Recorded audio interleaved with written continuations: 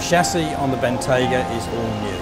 It features a, a new air suspension system combined with continuous damping control and this system gives us the possibility to offer four different ride heights.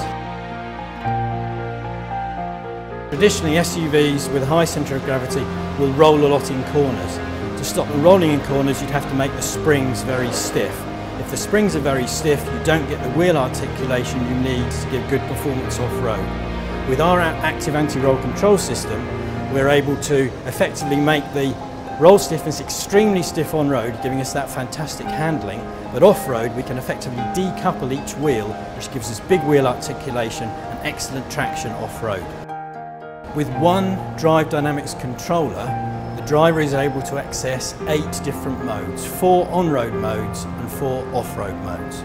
By choosing those different options, he's effectively changing his damping, his ride height, his steering, ESC, the electronic stability program, he's changing his engine characteristics and his, his transmission characteristics.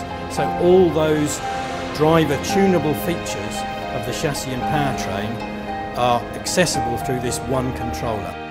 Combination of on-road performance and, and off-road performance means that this car is going to be the best of any SUV in the world.